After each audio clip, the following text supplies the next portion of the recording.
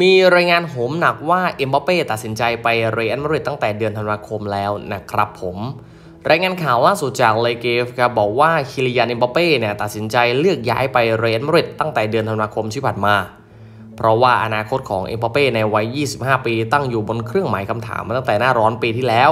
โดยสัญญาปัจจุบันของเป้แล้วก็เปแอสเชกำลังจะหมดลงในช่วงจบฤดูกาลนี้นะครับ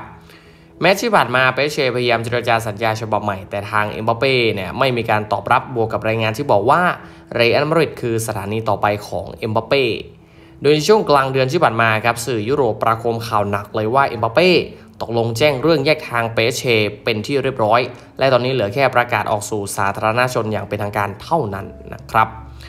ล่าสุดครับเลกิ๊ปบอกว่าการตัดสินใจนี้ของเอ็มบัปเป้นะครับเกิดขึ้นตั้งแต่เดือนธันวาคมที่ผ่านมาแล้วนะ แต่ทางเอ็มบัปเป้เนี่ยพยายามเก็บไว้เพื่อรอเวลาที่เหมาะสมถึงจะประกาศออกมา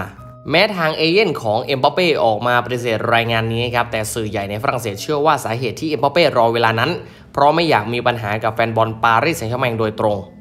นอกจากมีรายงานเสริมว่าตอนนี้แฟนบอลกลุ่มหลักของสโมสรยังคงใจเย็น รอจนกว่าเอ็มบัปเป้จะประกาศแยกทางอย่างเป็นทางการ แล้วค่อยเริ่มงานรุมโห่อย่างจริงจัง อ๋อ